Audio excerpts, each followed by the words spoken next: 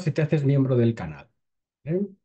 Tienes cursos gratuitos. Si te haces miembro del canal, te damos de alta en los cursos que tiene el canal. Simplemente te das de alta, nos escribes, comprobamos que eres miembro del canal de YouTube y te damos de alta en los cursos. Y estarás dado de alta en los cursos mientras seas miembro del canal.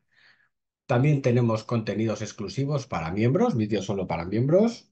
Publicamos al menos uno o dos vídeos de media diariamente solo para miembros, además de los que tienes en el canal. Y tenemos un directo para miembros todos los miércoles a las 7 de la tarde.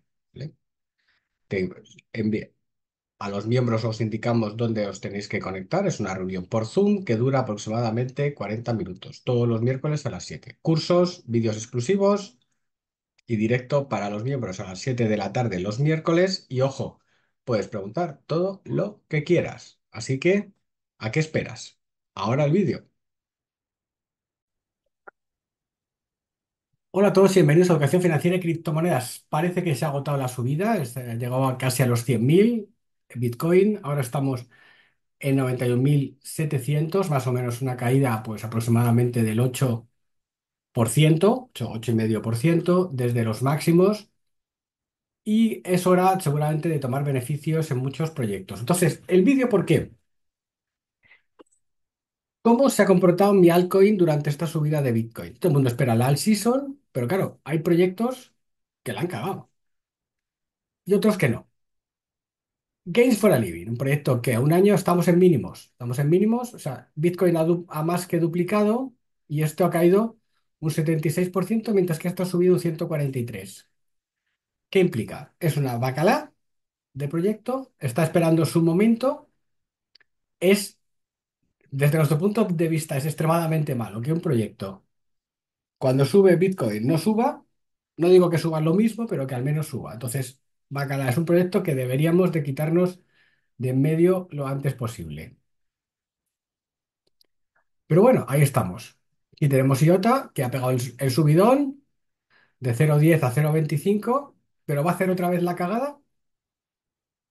Ah, otra pregunta, hay proyectos que han acompañado, pero claro, fijaos, esto es un 17% en un año, esto es un 143% en un año. ¿Qué hacemos?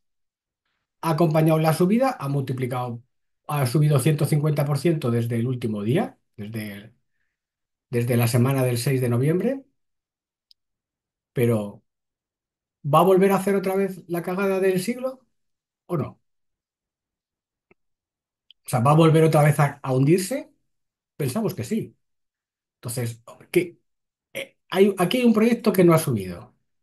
Este proyecto que ha subido, pero con miedo.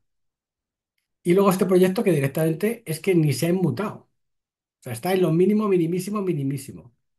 Entonces, ¿qué nos encontramos en esta subida? Que, que acompañando a Bitcoin hay muy pocas cosas y que la mayoría de los proyectos son una bacala.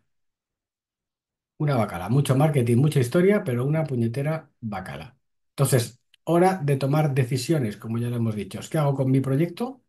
Igual a lo mejor hay que, hay que venderlo todo y dedicarse solo a, Bitcoin, porque el resto, el 90, 99% son bacalas. Y no sabes exactamente cuándo te van a clavar la puñalada.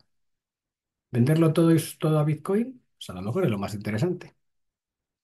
Porque sabemos que a largo plazo va a subir. Un abrazo y hasta siempre.